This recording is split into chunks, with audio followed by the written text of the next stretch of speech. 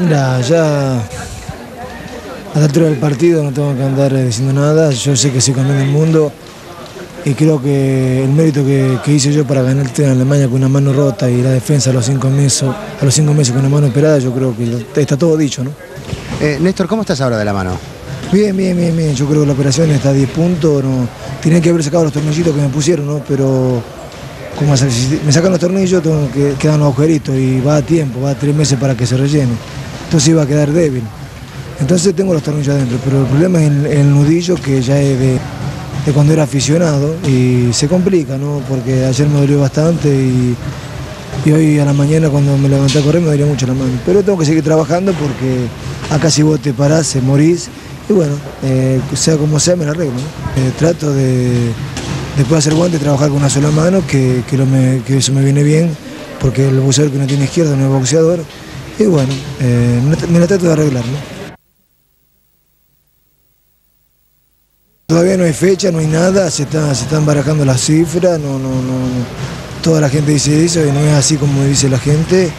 Estamos discutiendo la plata que va a ganar Giovannini, pero todavía no hay nada. Yo único que sé que puede ir el 22 de abril o no sé, eso depende de lo que diga Santa Nicolini, o la primera semana de mayo. Si va la primera semana de mayo, creo que Giovannini va a hacer una presentación, no sé a dónde, pero tenemos que hacer una pelea. ¿Qué opinas de Tommy Hearns? fue cinco veces campeón del mundo, yo no voy a descubrir nada, ¿no? Pero yo creo que Giovannini si está metido en la pelea como estuvo metido en las dos peleas últimas y con trabajo se puede ganar. Eh, yo la semana pasada decía cómo el, el tema de Buenos Aires, ¿no? Que antes vos me preguntaste algo que había dos campeones y, de repente sale un tercer campeón que, va a pelear con Gear y toda la gente se pregunta dónde es el tercer campeón. Y bueno, pero las cosas son así, hay que darle para adelante. Yo lo principal que trabajo siempre con humildad, con mi hermano, con mi familia. Ahora estoy venido a Santo Nicolín y bueno, yo creo que si estoy bien, yo creo que puedo dar la gran sorpresa ¿no? el 22 de abril o la primera semana de mayo. Mira, yo creo que de la OMB, no soy OMB. Sí, yo pienso que si tengo la suerte que salga todo bien contra GEAR, eh, yo creo que va a ser así.